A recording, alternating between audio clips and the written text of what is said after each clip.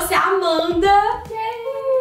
Eu vou colocar o Instagram dela aqui, as redes sociais dela, pra vocês conhecerem melhor. O que acontece? A Amanda veio aqui pra me ajudar a gravar, né? A Amanda é fotógrafa, mexe com filmes e tal. Só que aí eu olhei pro cabelo dela e falei assim, sabe que a gente poderia gravar um vídeo mostrando como você finaliza o seu cabelo? Porque é totalmente meu. E eu sei que algumas de vocês aí também vão se identificar. Eu não sabia que o meu cabelo era enrolado, primeiramente, antes de tudo, tal. Ele, antes de tudo, ele era ali, só fazia uns cachinhos na ponta, bem de leve. E aí eu não usava ele enrolado. Ele, ele começou a dar umas onduladinhas e eu fiquei, o que que tá acontecendo? Tem alisar. Daí eu passei muitos anos alisando e um dia minha chapinha quebrou, minha irmã arrumou pra mim ele enrolado e todo mundo achou super lindo. E eu comecei a usar ele enrolado. E aí é muito diferente isso, porque às vezes as pessoas acham que ele é liso e eu tô forçando pra deixar ele enrolado. E enrolar até um preconceitinho, tipo, nossa, tá super forçando pra ser cacheada. Mas não, o cabelo ondulado você tem que cuidar da mesma forma que cuida de liso, que cuida de enrolado. É verdade, e eu quis muito fazer esse vídeo. Vocês vão ver o cabelo da Amanda sem a finalização. E eu vejo muita gente com cabelo assim na rua e as pessoas começam a falar: ai, mas o meu cabelo não tem forma, meu cabelo só tem volume, ele não forma nada, não é nem liso, não é nem cacheado. Mas o segredo é a finalização. Não entendeu ainda o cabelo. Exatamente, você tem que entender o seu cabelo, porque cada cabelo é de um jeito. É. Então eu espero que vocês aí, meninas onduladas, que tem um cacho mais aberto, se identifiquem com esse vídeo. Acho que vocês vão gostar, né? Né?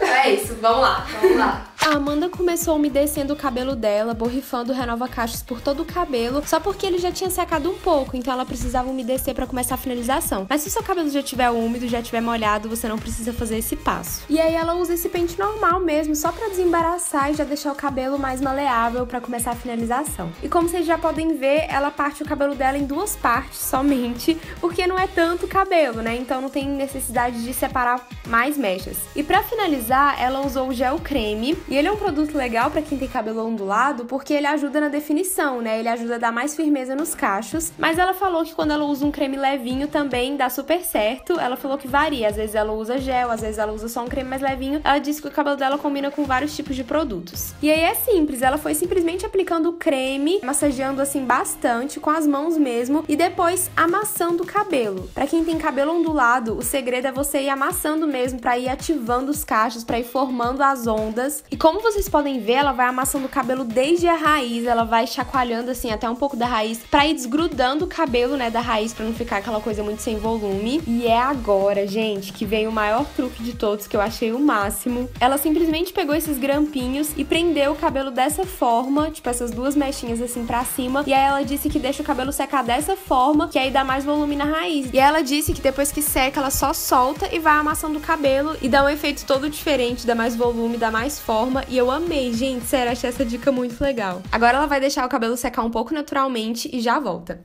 Duas horas depois. Sim, duas horas depois volta a Amanda e agora ela vai tirar os grampinhos que ela tinha colocado e vai soltando o cabelo. Agora ela vai pegar um pedaço de algodão e vai amassando o cabelo dessa forma. Gente, faz toda a diferença. Deixa o cabelo bem mais soltinho, mais ativado, sabe? E como vocês podem ver, esse produto ele tem um efeito mais umidificado. Como ele tem essa textura de gel também, ele deixa o cabelo mais durinho para firmar mais os cachos, mas aí você pode tirar esse efeito com o tecido de algodão depois. Eu não recomendo vocês usarem uma toalha mesmo, porque as toalhas felpudinhas dão um pouquinho mais de frizz por causa da textura delas. Então usa um algodão, uma camiseta de algodão que dá super certo, ou até mesmo papel toalha. E aí depois ela vai ajeitando com a mão, arrumando e tá pronta, gente. Olhem só como ficou maravilhosa. Eu fiquei encantada com o resultado, gente. O cabelo dela é lindo demais e eu espero que vocês onduladas, cacheadas que tem um cacho mais aberto, tenham se inspirado nessa finalização. E é isso, gente. Se vocês gostaram, clique em gostei. E se vocês também são ondulados e tem mais dicas de finalização, de truques pro cabelo, vocês viram o truque dela, né? Do grampo. Gente, achei aquilo o máximo, né? Nunca imaginei. Então, se vocês tiverem mais dicas, mais truques, comentem aqui embaixo. Então é isso, um beijo